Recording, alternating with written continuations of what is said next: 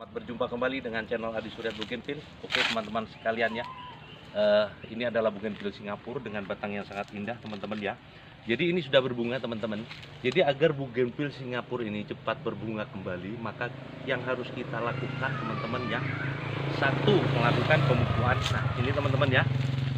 Nah ini, ini teman-teman, eh, ini campuran ya NPK ya, NPK yang sudah eh, tadi tidak tervideo ya. Sudah saya larutkan dengan air di sini teman-teman.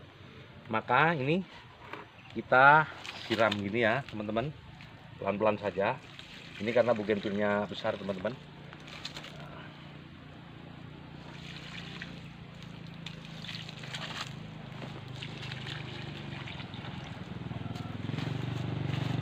Ya. Cantik-cantik ini teman-teman ya jadi teman-teman ini istilahnya ya ini setengah bonsai. Sebetulnya apa? Ini batangnya sangat bagus ya untuk bougainville seperti ini. Nah sesudah itu teman-teman ya karena bougainville Singapura ini cenderung berbunganya di pucuknya saja maka ini kita harus potongnya teman-teman ya. Kita potong dulu ini batang yang ini dulu ya teman-teman. Kita potong batang yang ini dulu biar cantik. Nah ini teman-teman ya kita ambil segini kira-kira kita sisakan 10 cm nah. Nah ini. Gini aja teman-teman ya. Ini semua teman-teman ya. Kita potong. Nah ini untuk yang berbunga juga karena ini sudah sisa-sisanya juga kita potong teman-teman ya. Dan untuk yang bersatu seperti ini teman-teman ya. Ini kan anu tidak kelihatan batangnya kalau terlalu apa?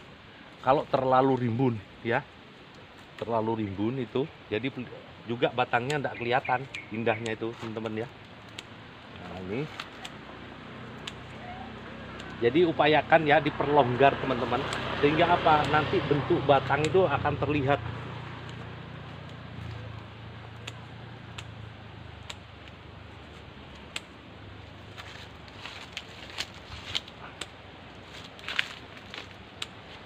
Nah, ini banyak sambungannya teman-teman ya.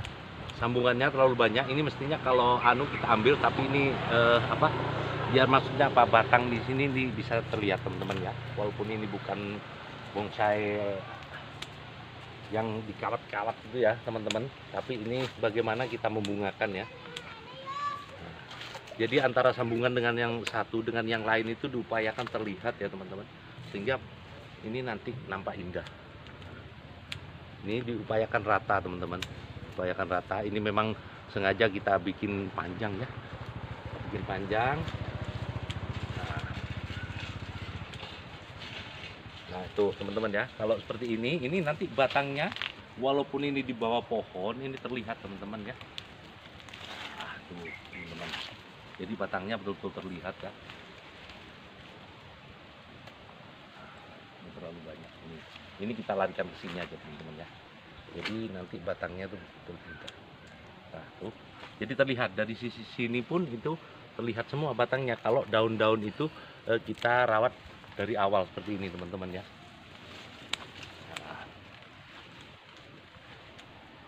Nah, ini teman-teman ya. Sudah terlihat ini batang-batangnya. Dan juga teman-teman jangan lupa melakukan pemupuan ya. Paling utama pemupuan juga kalau kita itu memperindah batangnya itu tadi kita itu betul-betul harus mengatur pertumbuhan dari ranting-ranting ini. Nah ini terus seperti ini teman-teman. Nah ini ini untuk apa?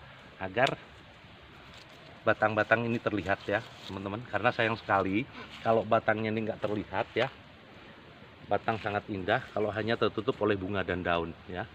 Itu lagi teman-teman ya. Nih kita ambil dari atas dulu ya teman-teman ya ambil dari atas dulu.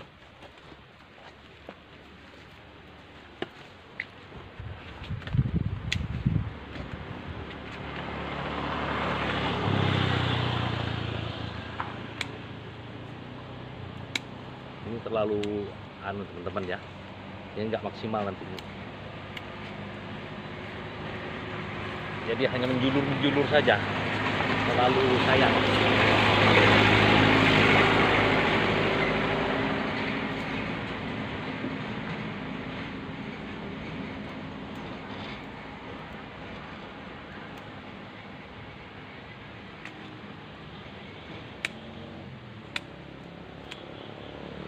ini jangan sampai melebihi 15 cm ya nanti hingga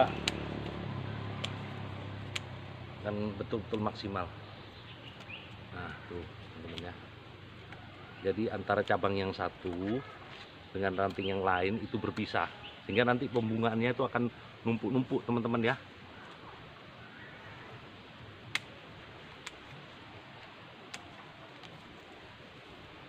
ini pun kalau disambung warna-warni kurang bagus teman-teman dengan batang seperti ini ya. Kalau kita sambung warna-warni kurang bagus ini.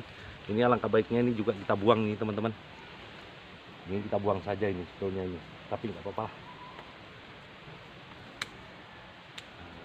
Jadi nampak terlihat indah ini buang aja teman-teman. Oh nggak apa-apa. Nanti ini bisa disambung kembali teman-teman ya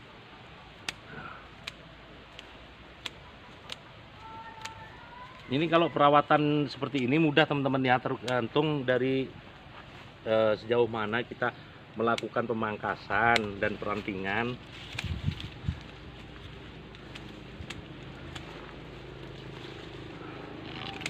jadi betul-betul apa? Berpisah. Jangan terlalu banyak ranting-ranting yang menutupi batang yang indah ini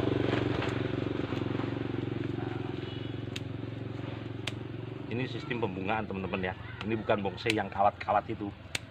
Ini mungkin sudah kalau ya sistem yang kawat-kawat itu kita sudah telat membikinnya nah nih teman-teman ya. Jadi terlihat tinggal ini mengurangi oh ini mengurangi sambung yang ini ya.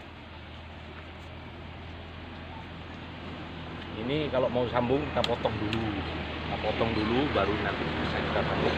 Nah sudah terlihat nih teman-teman ya. Sudah terlihat indah dan ini merata ini. Sudah kita lakukan pemupuan kita lakukan ini pemotongan ranting-ranting ya.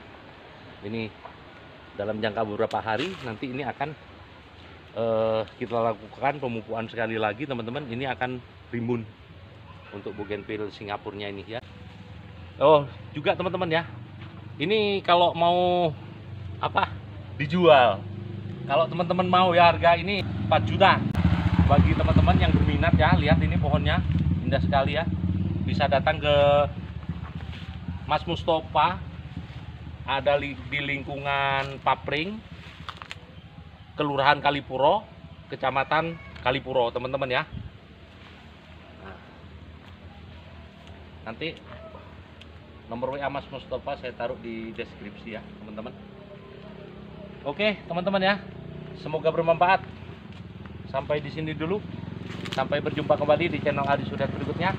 Wassalamualaikum warahmatullahi wabarakatuh. Salam sejahtera untuk anda semua